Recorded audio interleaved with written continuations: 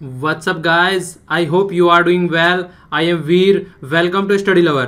देखिए, हम यहाँ पर पॉलिटिकल डिस्कशन कर रहे हैं और उसके अंदर हमने फीचर्स ऑफ़ द कॉन्स्टिट्यूशन वाला ये चैप्टर चल रहा है हमारा तो फीचर्स ऑफ़ द कॉन्स्टिट्यूशन के तहत अब तक हम ये कंप्लीट इतने सारे फीचर्स जो हैं इसके डिस्कस कर चुके हैं ओके तो ये वाला कंप्लीट हम तीन पार्ट में अब तक डिस्कस कर चुके हैं पार्ट फ़र्स्ट सेकेंड और थर्ड तीनों के जो लिंक है मैं आप लोगों को नीचे दे दूँगा, जिसने अब तक नहीं देखे हैं। जो नेक्स्ट वाला है हमारा पार्ट फोर ये आने जा रहा है, ठीक है ना? तो इस फोर पार्ट फोर में हम क्या डिस्कस करेंगे? सेक्युलर स्टेट क्या होता है? यूनिवर्सल एडल्ट फ्रेंचाइज क्या होता है? सिंगल सिटीजनशिप क्या होता है? इंडिपेंडेंट बॉडी क्या होता है?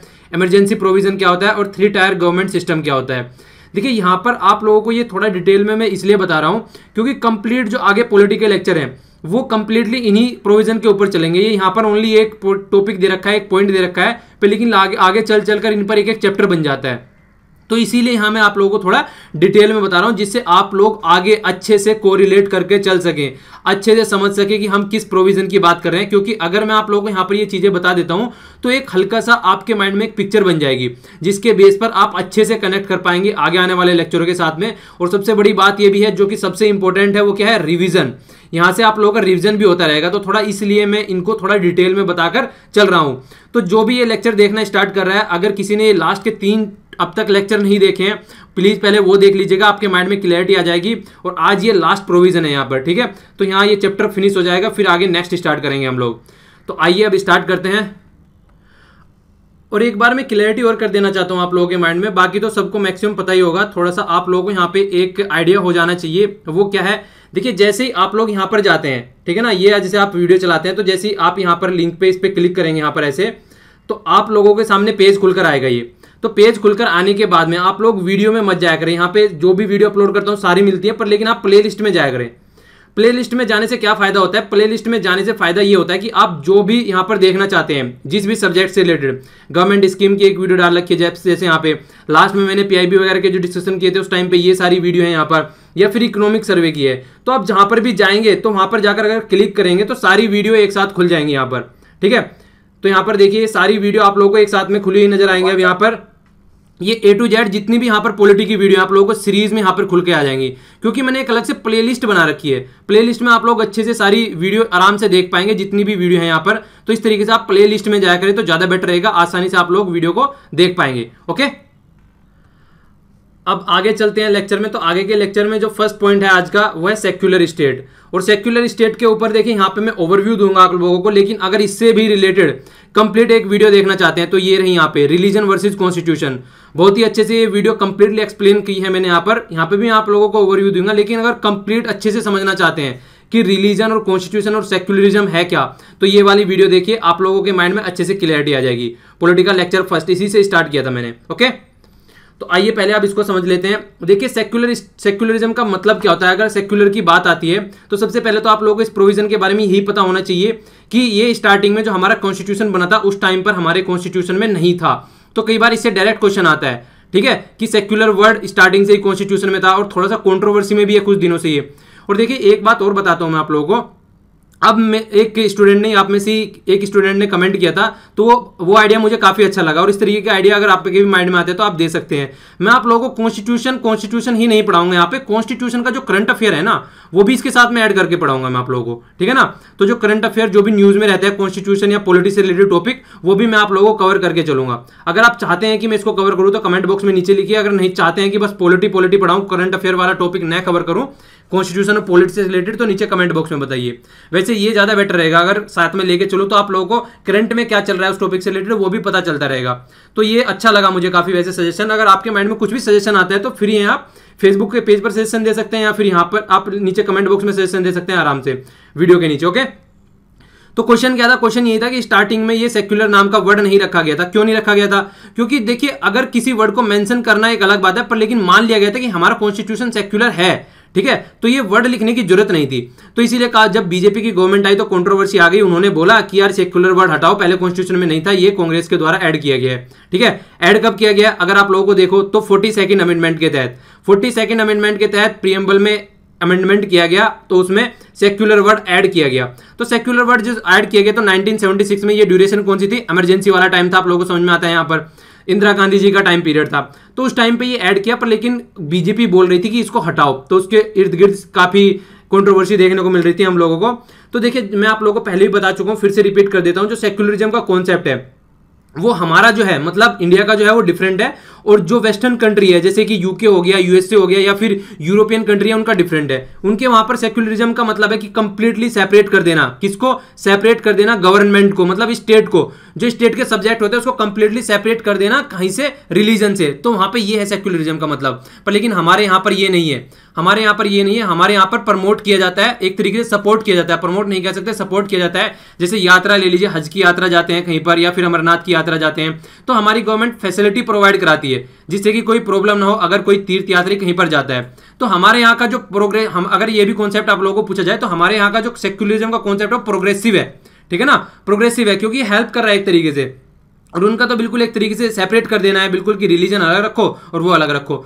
तो एडमिनिस्ट्रेशन तो हमारे यहाँ का थोड़ा सा डिफरेंट है ओके तो यहाँ पे क्या बात बोली जाती है?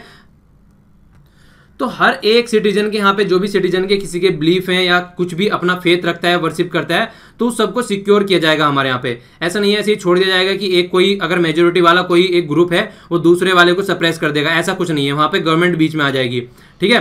तो ये बात है यहाँ पर। इसके अलावा क्या है? देखिए इक्वल प्रोटेक्शन मतलब equal protection of the law और इक्वलिटी बिफोर लॉ मतलब प्रोटेक्शन भी होगी इक्वलिटी बिफोर लॉ सबको लॉ के सामने इक्वल रखा जाएगा और प्रोटेक्शन भी सबको मिलेगी इक्वल आर्टिकल 14 के अंदर आता है। मैंने आप लोगों को बताया था आर्टिकल रटने की याद, ज़रूरत नहीं है।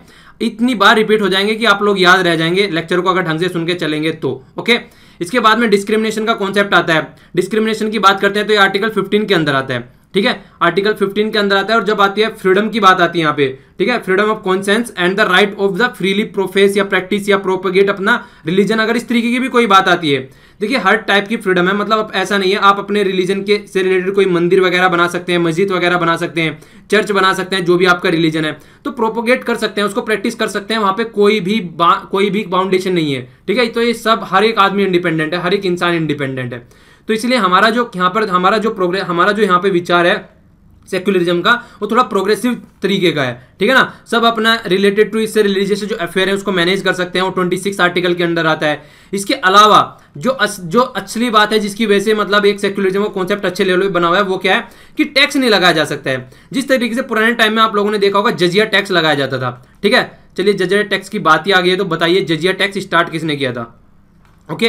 तो जजिया टैक्स जो लगाया जाता है उस टाइम पे, लगाया जाता था तो प्रोटेक्शन देने के लिए मतलब हिंदू थे जो उस टाइम पे ये यहाँ पे जब हिंदू थे उस टाइम पे तो उस टाइम पे क्या होता था? मुस्लिमों को मुस्लिमों को टैक्स देना पड़ता था मतलब हिंदू को। क्यों? क्योंकि वो प्रोटेक्शन करते थे हिंदुओं की। तो एक प्रोटेक्शन का टैक्स था ये, ठीक है ना? क्योंकि मेजोरिटी में मुस्लिम थे, ये माना जाता है उस टाइम पे। कुछ प्रोविंस जहाँ पे खासकर मुस्लिम रूल था उस टाइम पे ओके तो ये माना जाता था। तो इस तरीके कोई टैक्स भी नहीं लगा सकते और पर्टिकुलर किसी रिलीजन को प्रमोट भी नहीं कर सकते। अपने रिलीजन को प्रमोट करने के लिए कोई टैक्स नहीं लगा सकते। तो इस तरीके का जो कॉन्सेप्ट है, वो आर्टिकल ट्वेंटी के अंदर आता है, ठीक है? तो इस तरीके की बात है और इसके अलग अगर हम एजुकेशन अपनी देखें तो उसके अंदर भी एक कॉन्सेप्ट रखा गया है कि कोई भी रिलीजियस इंस्ट्रक्शन नहीं दी जाएगी एजुकेशनल जो इंस्टीट्यूशन है। मतलब जहाँ भी आप स्कूल में पढ़ते हैं, वहाँ पर कोई भी रिलीजन से रिलेटेड इंस्ट्रक्शन नहीं दी जाएगी। ठीक है ना? खासकर जो स्टेट के द्वारा चलाए गए जो इंस्टीट्यूशन है, उनकी बात मैं यहाँ पे कर रहा हूँ। तो आप लोगों को ये भी पता होना चाहिए। देखिए, थोड़ा सा जरा जरा सा डिफरेंस हो जाता है। क्या करेगा? कि रिलीजियस इंस्ट्रक्शन नहीं दे सकते हैं एजुकेशनल इंस्टीट्यूशन में स्टेट हटा देगा वहाँ पर। स्टेट हटा देगा। नॉर्मली तो एजुकेशनल इंस्टीट्यूशन रहते हैं, सबके अपने रिलीजन के ही हैं वहाँ पर तो दे सकते हैं। अगर स्टेट के द्वारा स्टेट के द्वारा मेंटेन किए गए की बात कर रहे हैं यहाँ पे। अगर यहाँ पे स्टेट वर्ड हटा देगा और आप लोगों से कंप्लीट स्टेटमेंट देगा और बोलेगा आर्टिकल 18 के तहत 28 के तहत आता है तो आप लोग टिक लगाओगे करेक्ट तो इसलिए छोटे छोटे वर्डों पर भी आपको ध्यान देना पड़ता है क्वेश्चन को सही करने के लिए।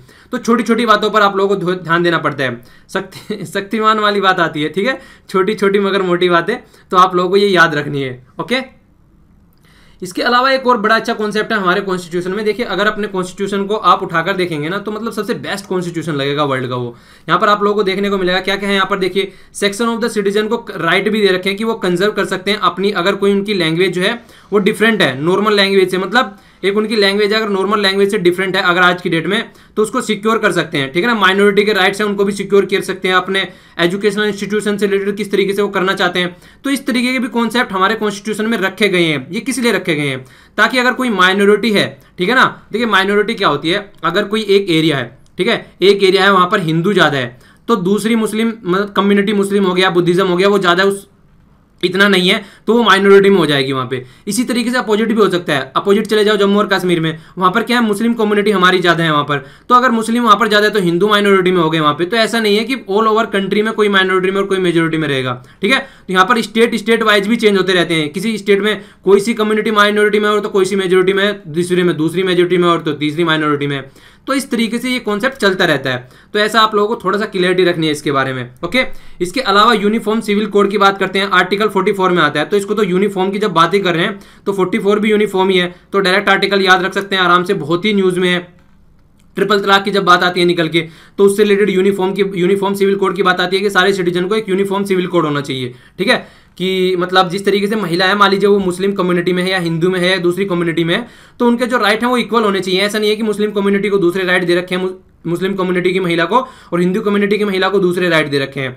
तो महिला तो महिला है यार, हिंदू हो चाहे मुस्लिम हो, चाहे सिख हो, चाहे ईसाई हो, उससे क्या मतलब हो गया? तो सबको इक्वल राइट होने चाहिए, ठीक है ना? तो धर्म के बेस पर जो होता है, वो जो सेपरेशन होता है तो वो नहीं होना चाहिए ओके तो इक्वलिटी वाली कॉन्सेप्ट यहाँ पर बात की गई है लाने के लिए।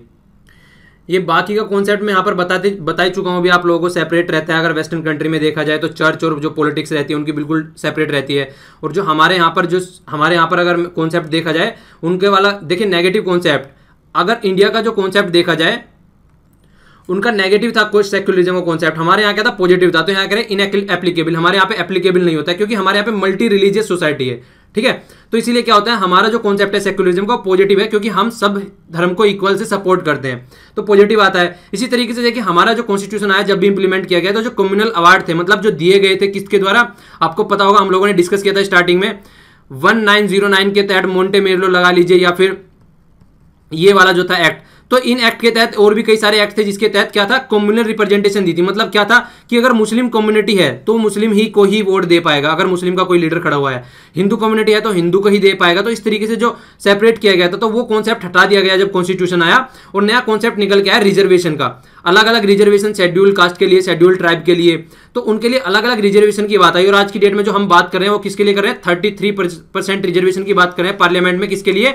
महिलाओं के लिए। ठीक है ना? तो ये रिजर्वेशन का आज की डेट में कॉन्सेप्ट आ रहा है और जो कम्युनल रिप्रेजेंटेशन थी वो हटा दिया गया। यहाँ पर क्या है? डिफरेंस क्या है दोनों में? डिफरेंस जैसे मैंने आप लोगों को बताया, अगर मुस्लिम कोई खड़ा हुआ है तो मुस्लिम मुस्लिम को ही वोट देगा। पर यहाँ पर क्या है? यहाँ पर सब सबको वोट दे सकते हैं। पर लेकिन खड़ा जो होगा वो एस सी का बंदा होगा, पर लेकिन वोट कोई भी दे सकता है। यहाँ पे लड़की हो सकती है, लड़का हो सकता है खड़ा, पर वोट सारी कम्युनिटी देगी। ऐसा नहीं है कि मुस्लिम या एस सी के ही उसको वोट देंगे। तो ये कॉन्सेप्ट है हमारे यहाँ पे। तो बहुत ही सोच समझकर हमारे यहाँ पे कॉन्सेप्ट इनबिल्ट किए गए हैं कॉन्स्टिट्यूशन में। तो आप लोगों को थोड़ा सा उसको अच्छे से समझना चाहिए। रटने के हिसाब से नहीं है। हमारा कॉन्स्टिट्यूशन है, हमको पढ़ना है, उसको समझना है। उसके बेस पर आपको चीज़ें देखनी है। ना कि एग्ज़ाम निकालने के पॉइंट ऑफ़ व्यू से।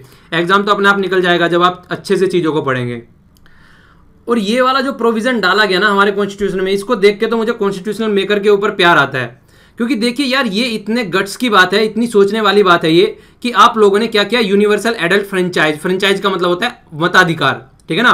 तो आप लोगों ने क्या किया? यूनिवर्सल कर दिया। मतलब हर एक एडल्ट जो भी एडल्ट है, जो भी एट अट्ठारह साल की उम्र हो चुकी है या उससे ऊपर हो चुकी है, वो वोट का कॉन्सेप्ट है, ठीक है ना? हालाँकि स्टार्टिंग में 18 नहीं था स्टार्टिंग में 21 था, फिर घटा के 18 कर दी। तो ये बहुत ही एक आप लोग कह सकते हैं कि एक पॉलिटिकल विल की बात है ये।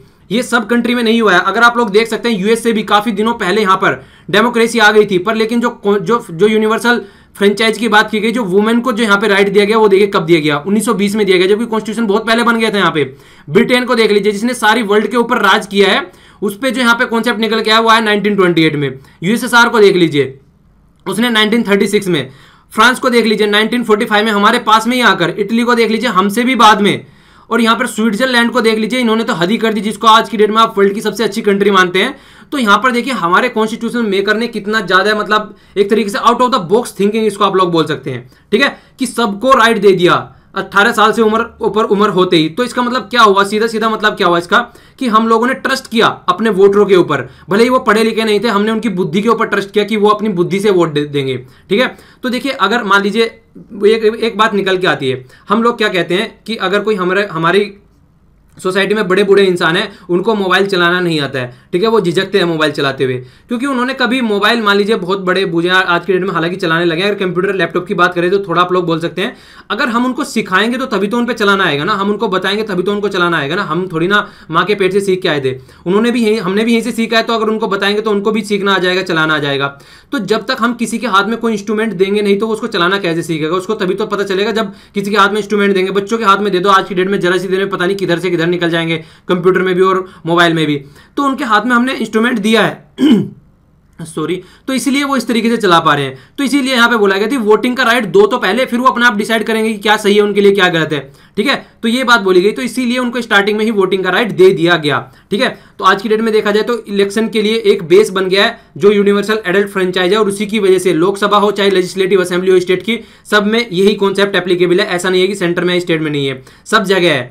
हर एक सिटीजन हर एक सिटीजन देख लीजिए जिसकी 18 साल या 18 साल से ऊपर हो गई है। विदाउट किसी डिस्क्रिमिनेशन के, ना तो कास्ट के बेस पे डिस्क्रिमिनेशन होगा, ना किसी रेस के बेस पे होगा, ना किसी रिलीजन के बेस पे, ना सेक्स और ना लिटरेसी के बेस पे, ना वेल्थ के बेस पे, किसी भी बेस पे कोई डिस्क्रिमिनेशन नहीं होगा। अंग्रेज़ों के टाइम में क्या होता था? जो कोई अच्छा खासा अमीर है, राजा रजवाड़े, उनको वोट का राइट दे दिया या फिर पढ़ा लिखा इंसान है, उसको वोट का राइट दे दिया। सबको वोटिंग का राइट नहीं दे रखा था। तो यहाँ पर हमने क्या किया? सबको दे दिया हमारे कॉन्स्टिट्यूशन मेकर ने। ठीक है? तो वोटिंग जो राइट था, वो रिड्यूस कर दिया गया 18 साल, जो कि 21 साल था। कब किया गया? 1989 में सिक्सटी अमेंडमेंट के तहत कॉन्स्टिट्यूशन अमेंडमेंट 1988 तो आप लोगों को याद रखना है, कई बार क्वेश्चन पूछा जाता है, इससे डायरेक्ट क्वेश्चन आता है निकल के, किसके तहत हमने इसको घटाया? तो 61 कॉन्स्टिट्यूशन अमेंडमेंट के तहत, देखिए, आप लोग अगर ऐसे ऐसे रटने बैठेंगे ना तो याद नहीं रहेगा, लेकिन बीच बीच में जब इन ये यूज़ होते रहेंगे ना, ये कई बार यूज़ कर चुका हूँ मैं इसको अब तक तो दो तीन बार इसका यूज़ कर चुका हूँ तो क्या हो जाता है, फिर आप लोगों को याद रह जाती हैं ये बातें, और इसी तरीके से पता नहीं कितनी बार यूज़ होगी, ये रिपीट होंगी चीज़ें। तो अगर लेक्चर आप लोग अच्छे से सुन रहे हैं, ध्यान लगा के तो सारी चीज़ें याद हो जाएँगी, बस थोड़ा सा आप लोगों को कॉन्सेप्ट लगाना मतलब थोड़ा सा ध्यान लगाना है ओके कॉन्स्टिट्यूशन देखिए, बोल रहे हैं कि बड़ा ही बोल्ड एक्सपेरिमेंट था, अगर उनका देखा जाए, और हाईली रिमार्केबल था। जिस तरीके से उन्होंने क्या किया, पूरी इतनी बड़ी पॉपुलेशन थी हमारी वास्ट कंट्री है, एक तो देखा जाए, कितनी बड़ी कंट्री है। और ह्यूज पॉपुलेशन है यहाँ पर। हाई पॉवर्टी है, बहुत ज़्यादा और इसके साथ में सोशल इनिक्वलिटी भी है, और इलिटरेसी की तो हद ही है यहाँ पर, भारी इलिटरेसी है। इतना सब कुछ होते हुए भी उन्होंने क्या किया यूनिवर्सल एडल्ट फ्रेंचाइज दे दी हम लोगों को। तो देखिए, किसी, कहीं ना कहीं उनको पता था कि ये अगर हम आज नहीं देंगे तो आगे चल के आने वाले टाइम में बहुत ज़्यादा डिस्क्रिमिनेशन हो जाएगा। तो वो डिस्क्रिमिनेशन वाला जो चक्कर था, उसको साइड में रखना चाहते थे। तो डेमोक्रेसी का बेस बढ़ा दिया उन्होंने। पहले कुछ आदमी ही वोट दिया करते थे, अब सब वोट दे रहे हैं यहाँ पे, ठीक है ना? और इस तरीके से रेस्पेक्ट भी बढ़ गई, जो खुद यहाँ के कॉमन पीपल है, उनकी प्रिस्टीज और रेस्पेक्ट भी बढ़ गई।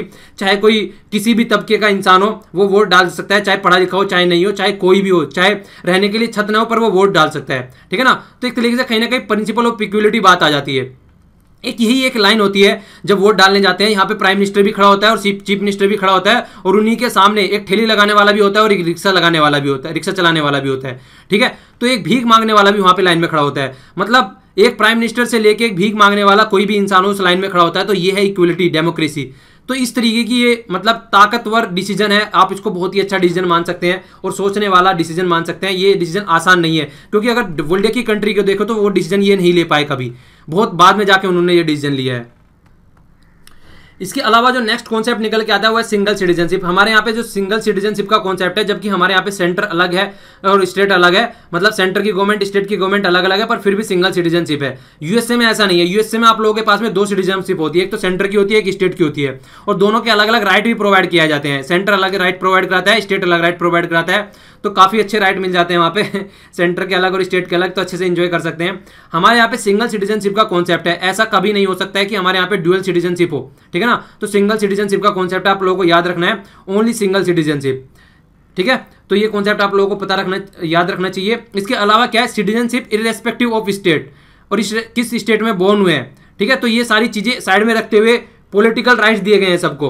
ऑल सिटीजन को पॉलिटिकल राइट्स दिए गए हैं। ओके और इक्वलिटी पे रखा गया सबको। ऐसा नहीं है कि कोई किसी स्टेट में जन्मा है तो उसको नहीं दिया जाएगा, मध्य प्रदेश में जन्मा है तो नहीं दिया जाएगा, महाराष्ट्र में जन्मा है तो दिया जाएगा। तो ऐसा कुछ नहीं है। सबको इक्वल रखा गया कहीं भी डिस्क्रिमिनेट नहीं किया गया है। ठीक है? इसके अलावा क्या होता है? कुछ कम्युनिटी देखिए, अगर कुछ कम्युनिटी की बात करें, जैसे ट्राइबल हो गए, जम्मू और कश्मीर या कुछ ऐसे स्पेशल एरिया हो गए, वहाँ पर थोड़ा सा उनको स्पेशल राइट प्रोवाइड कराने पड़ते हैं, क्योंकि उनको उभार के लेके आना है हम लोगों को। ठीक है? तो वहाँ पे थोड़ा सा एक्सेप्शन आ जाता है निकल के, अगर इनको छोड़ दिया जाए, बाकी सब जगह इक्वल है। ठीक है? तो यहाँ पर थोड़ा सा एक्सेप्शन आपको जम्मू और कश्मीर में देखने को मिलेगा। आर्टिकल 70 एप्लीकेबल होता है यहाँ पर। और दूसरा था ट्राइबल एरिया में थोड़ा आप लोगों को देखने को मिलेगा यहाँ पे। ओके इसके अलावा क्या बात बोली गई यहाँ पे? सिंगल सिटीजनशिप का जो कॉन्सेप्ट आता है और यूनिफॉर्म राइट देखिए, ये तो दे रखे हैं, पर लेकिन फिर भी सोसाइटी में क्या देखने को मिलता है? वो देखने को मिलता है कम्युनल रेट्स देखने को मिलते हैं कॉन्फ्लिक्ट देखने को मिलता है कास्ट और वार्स कास्ट से रिलेटेड वार मिलती है, लैंग्वेज के ऊपर वार मिलती है कि हिंदी इंप्लीमेंट नहीं करने देंगे साउथ वाले और नॉर्थ वाले बोलते हैं कि हिंदी इंप्लीमेंट करेंगे। तो इस तरीके कई सारे डिस्प्यूट देखने को मिलते हैं, ठीक है? तो ये डिस्प्यूट देखने को किस लिए मिलते हैं? देखिए, हमारे कॉन्स्टिट्यूशन मेकर जो थे, उन्होंने कोई भी कमी नहीं छोड़ी है कॉन्स्टिट्यूशन बनाने में। पर लेकिन आज की डेट में भी हम इतने मैच्योर नहीं हो पाएँगे, हम अपनी कास्ट से ऊपर नहीं उठ पाए हैं, हम अपने रिलीजन से ऊपर नहीं उठ पाए हैं। तो इस तरीके के जो हम रिलीजन और कास्ट के ऊपर आपस में लड़ते रहते हैं तो कहीं ना कहीं हमारे कॉन्स्टिट्यूशन मेकर ने ये कभी नहीं सोचा था कि आगे चलकर भी इसी तरीके से लड़ेंगे। तो ये कहीं ना कहीं हमारा टाइम आ गया कि हम रियलाइज़ करें कॉन्स्टिट्यूशन मेकर ने जिस तरीके से हमारा कॉन्स्टिट्यूशन बनाया है, उसको पहचाने ढंग से और एक इंटीग्रेट नेशन बना के अच्छे से उसको इंजॉय करने की कोशिश करें, ना कि तुम हिंदुओं में, मुसलमान हो वो सीखे ये ईसाई है, इनको मार दो। फिर वही नाना पाटेकर का डायलॉग याद आता है मुझे, नाना पाटेकर जी का। जब वो खून निकाल के एक मिलाते हैं हिंदू और मुस्लिम का, बोलते हैं, बता कौन सा हिंदू का है, कौन सा मुसलमान का है? जब बनाने वाले ने इसमें फ़र्क नहीं किया तो तू कौन होता है फ़र्क करने वाला? तो काफ़ी अच्छी मूवी है, काफ़ी अच्छा डायलॉग है तो आप लोगों को कम से कम इन सब चीज़ों से ऊपर उठ के आना चाहिए, ठीक है? तो तभी एक अच्छे लेवल की सोसाइटी हम लोग क्रिएट कर पाएँगे। और हमारे कॉन्स्टिट्यूशन मेकर ने भी कुछ ऐसा ही सपना देखा था। इसके अलावा यहाँ पर बात की गई है इंडिपेंडेंट बॉडी की। तो इंडिपेंडेंट बॉडी की यहाँ पे बात की गई है डेमोक्रेसिक सिस्टम की बात की गई है यहाँ पे। तो देखिए, अगर डेमोक्रेसिक सिस्टम की बात की जाती है तो कहीं ना कहीं बाँध, ठीक है ना, जो बाँध बनाया जाता है वो इंडिपेंडेंट बॉडी के द्वारा ही बनाया जाता है। सबसे पहला इलेक्शन कमिश्नर ऑफ़ इंडिया किसी का बस नहीं चलता है इसके ऊपर। अगर इसके ऊपर बस चलने लगा तो कहानी खत्म हो जाएगी। तो इलेक्शन कमिश्नर ऑफ़ इंडिया है यहाँ पर तो फ्री एंड फेयर इलेक्शन होते हैं। और इलेक्शन कमिश्नर ऑफ़ इंडिया किसके इलेक्शन कराता है, आप लोगों को पता होना चाहिए। पार्लियामेंट के कराता है स्टेट लेजिस्लेटिव लेजिस्लेचर के कराता है। प्रेसिडेंट के कराता है और वाइस प्रेसिडेंट के कराता है। चार इलेक्शन कराता है, आप लोगों को पता होना चाहिए।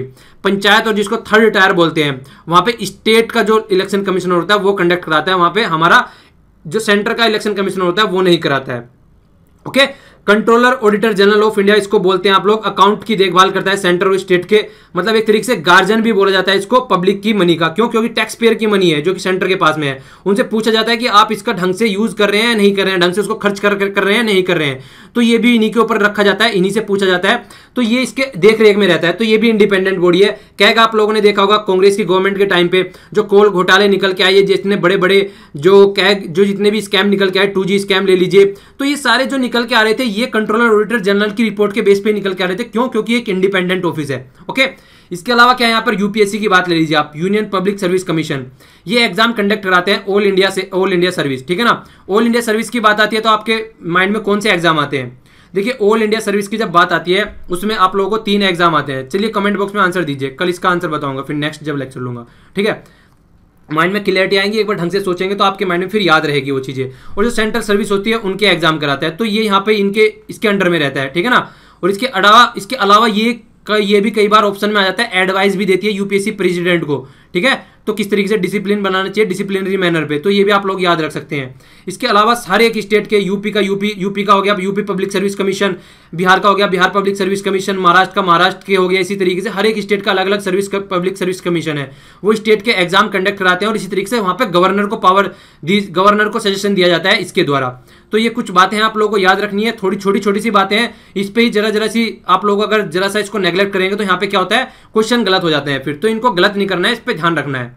हमारे कॉन्स्टिट्यूशन मेकर ने अच्छी खासी पावर लगाई है इनको इंडिपेंडेंट रखने के लिए कि इनका फिक्स सर्विस कर दी गई है टेन यूर फिक्स कर दिया गया है। यहाँ पर एक्सपेंसिस जो है इनको कॉन्सोलिडेटेड फंड से निकाले जाते हैं। तो गवर्नमेंट के हाथ में इतनी पावर नहीं है कि अगर इनको एक बार अपॉइंट कर दिया जाए तो ये मतलब किसी भी तरीके से अपने फेवर में इनको लाया जा सके। सारी चीज़ें इनकी इंडिपेंडेंट रखी गई है। तो ये इंडिपेंडेंसी बनाने के लिए ही इनको रखा गया इस तरीके से। ओके इसके अलावा ये वाले प्रोविज़न काफ़ी इंपॉर्टेंट इमरजेंसी के प्रोविज़न है यहाँ पर। इनको देख लीजिए आप लोग एक बार। ये भी काफ़ी क्वेश्चन इनसे आते हैं डायरेक्ट क्वेश्चन निकल के आते हैं। देखिए, इसमें से कई सारी क्वेश्चन बनेंगे, आप लोगों को यहाँ पर पता चलेगा। अभी ये एक एक्स्ट्रा ऑर्डिनरी सिचुएशन होती है, ठीक है? जब ये इस तरीके का जो इमरजेंसी हम लोग इंप्लीमेंट करते हैं तो ओके तो ये स्टार्टिंग से ही इनकॉर्पोरेट किए गए हैं हमारे कॉन्स्टिट्यूशन में। तो अच्छा ये बताइए प्रोविज़न किस कंट्री से लिए गए हैं? नीचे कमेंट बॉक्स में बताइए आप लोग, ठीक है ना? तो इनकॉर्पोरेट किए गए हैं कंट्री में, हमारी में यहाँ पे। तो क्यों किया गया है? देखिए, किया किस लिए गया है? सेफ़ गार्ड करने के लिए हमारी सोवरेनिटी सोवरेनिटी को कोई हर्ट ना कर सके यूनिटी को कोई हर्ट ना कर सके इंटीग्रिटी को हर्ट ना कर सके सिक्योरिटी को हमारी हर्ट ना कर सके, और डेमोक्रेटिक पॉलिटिकल सिस्टम और कॉन्स्टिट्यूशन को प्रोटेक्ट करने के लिए। ठीक है ना? तो इस तरीके के ये प्रोविज़न रखे गए हैं। तीन तरीके की यहाँ पे इमरजेंसी होती है। इमरजेंसी होती है, क्या होती है? नेशनल स्टेट और फाइनेंशियल स्टेट को प्रेसिडेंट रूल भी कहते हैं। बहुत बार आप लोगों ने सुना होगा, खासकर बिहार का नाम आता है जब भी यहाँ पर ये बात आती है। बहुत ही ज़्यादा इंपॉर्टेंट है। जब पढ़ाऊँगा यहाँ पर तो बताऊँगा आप लोगों को किस तरीके से इसका वोलेशन किया जाता है। यहाँ पर आप लोगों को याद रखना है, देखिए, जो नेशनल इमरजेंसी लगाते हैं वॉर के बेस पे एक्सटर्नल एग्रेशन के बेस पर, ठीक है ना? और तीसरा है आर्म्ड रिबेल के रिबेलियन के बेस पे। तो देखिए, ये वाला जो वर्ड है, ये वाला मैंने रेड में डाला है यहाँ पर, इसका रीजन है। क्यों है? पहले इसकी जगह इंटरनल पहले इसकी जगह इसकी जगह इंटरनल डिस्टर्बेंस हुआ करता था, ठीक है ना? तो इंटरनल डिस्टर्बेंस एक बहुत ही वेग वर्ड है, आप लोग बोल सकते हैं, बहुत ही ब्रॉड वर्ड है, उसको बोला नहीं जा सकता कौन सा डिस्टर्बेंस हुआ है। तो इसीलिए क्या किया गया, जो हमारी पहले इमरजेंसी लगी थी 1975 से 1977 तक तो वो इंटरनल डिस्टर्बेंस की वजह से लगाई गई थी। तो उसको चेंज करके आर्म रिबेलियन कर दिया गया मतलब एक डिफाइन कर दिया गया, ठीक है? पहले वो डिफाइन नहीं था तो कोई भी उठा के लगा सकता था इमरजेंसी अगर देखा जाए तो। तो आगे से कोई ना लगा सके तो इसलिए इसको थोड़ा डिफाइन कर दिया गया। आप लोगों को बताना है कि किस कॉन्स्टिट्यूशन अमेंडमेंट के तहत इसको डिफाइन किया गया, कहाँ पे इसको चेंज किया गया? तो ये बताना है आप लोगों को कमेंट बॉक्स में ओके तो आर्टिकल किसमें आती है? थ्री में आती है। इसके अलावा क्या है? हम बात करें यहाँ पे प्रेसिडेंट रूल या फिर स्टेट इमरजेंसी बोलते हैं इसको। तो देखिए, अगर कोई भी स्टेट गवर्नमेंट फेल हो जाती है कॉन्स्टिट्यूशन के हिसाब से काम करने में फेलियर हो जाती है तो एक तो वहाँ पर लगता है ये। दूसरा कहाँ पर लगता है? दूसरा दूसरा कहाँ पर लगता है? अगर कोई भी सेंटर कोई डायरेक्शन देता है और स्टेट उसको उसको ढंग से फॉलो नहीं कर पाता है तो ये लगता है 365 पे। तो मैक्सिमम जो लगता है, वो लगता है three six three fifty six पे लगता है और जो थ्री सिक्सटी फाइव पे है, ये बहुत कम लगता है। ठीक है ना? मैक्सिमम जो होता है, ये वाला यूज़ होता है। तो आप लोगों को इसको याद रखना है थोड़ा, ठीक है? और जो फाइनेंशियल इमरजेंसी होती है सॉरी वो क्या होती है? वो 360 के अंडर आती है ओके फाइनेंशियल इमरजेंसी किसके अंदर आती है? 360 के अंडर आती है। तो देखिए, ये फाइनेंशियल स्टेबिलिटी प्रोवाइड कराने के लिए होती है, और इसमें क्या होता है? इस इमरजेंसी के दौरान क्या होता है? सेंट्रल गवर्नमेंट के हाथ में सारी पावर आ जाती है। तो हमारा जो स्ट्रक्चरल जो फेडरल सिस्टम है, वो चेंज होकर यूनिटरी बन जाता है यहाँ पर। ये भी कौन, ये भी कई बार पूछ लिए जाते हैं। तो ये कई सारे कॉन्सेप्ट है। तो अगर आपसे कोई पूछे, हमारा जो फेडरल सिस्टम है, वो यूनिटरी कब बनता है तो इमरजेंसी के टाइम पर पड़ता है। ठीक है? तो यहाँ पर जो कंप्लीट पावर हो जाती है, वो किसके हाथ में आ जाती है? वो आ जाती है सेंटर के हाथ में। तो याद रखना आप लोग को नॉर्मल देखिए, हमारा जो फेडरल है, वो नॉर्मल ड्यूरेशन नॉर्मल टाइम में फेडरल है, पर लेकिन अगर इमरजेंसी के टाइम पे यूनिटरी बन जाता है तो ये हमारे कॉन्स्टिट्यूशन का यूनिक फीचर है, अगर देखा जाए तो। ठीक है ना? तो इस तरीके का यूनिक फीचर भी हमारे कॉन्स्टिट्यूशन के अंदर में। इसके अलावा थ्री टायर गवर्नमेंट की बात की गई है, ये लास्ट प्रोविज़न है यहाँ पर। थ्री टायर गवर्नमेंट की बात की गई है। देखिए ओरिजिनली जो था, ये भी क्वेश्चन कई बार पूछ लेता है। ओरिजिनली हमारे कॉन्स्टिट्यूशन में पंचायत और म्यूनसिपैलिटीज नाम की चीज़ नहीं थी। ठीक है? तो ये कब आई? सेवेंटी थर्ड और सेवेंटी फोर कॉन्स्टिट्यूशन अमेंडमेंट के तहत आई 1992 में। क्वेश्चन बहुत बार पूछा जाता है अमेंडमेंट भी पूछा जाता है और कब है कभी भी पूछा जाता है। तो सेवेंटी थर्ड कॉन्स्टिट्यूशन जो अमेंडमेंट निकल के आया 1992 में तो पंचायत नाम की बॉडी आई, जिसको रूरल लोकल गवर्नमेंट भी बोला जाता है। ठीक है? चलिए क्वेश्चन का एक का आंसर और दीजिए कि हमारे यहाँ पे कौन है जो लोकल गवर्नमेंट का एक तरीके से जनक दाता माना जाता है। ठीक है? बताइएगा क्वेश्चन में। इसमें क्या है? पार्ट नाइन पार्ट नाइन नया ऐड किया गया यहाँ पे और शेड्यूल इलेवन तो ये भी मैंने आप लोगों को पहले ही बता चुका हूँ। तो देखिए रिपीटेशन में होती रहेंगी काफ़ी चीज़ तो इसलिए याद भी हो जाएँगे आप लोगों को। 74 अमेंडमेंट जो है वो 1992 में आया। इसमें क्या किया गया? अर्बन लोकल बॉडी जाए जिनको म्यूनसिपैलिटी बोलते हैं। तो नाइन्थ ए पार्ट ऐड किया गया यहाँ पे और न्यू शेड्यूल ट्वेल्थ ऐड किया गया यहाँ पे। तो ये कंप्लीट यहाँ पे एडिशन हुआ, जो नया नया एडिशन हुआ तो ये कंप्लीट पार्ट थे यहाँ पे कॉन्स्टिट्यूशन के ओके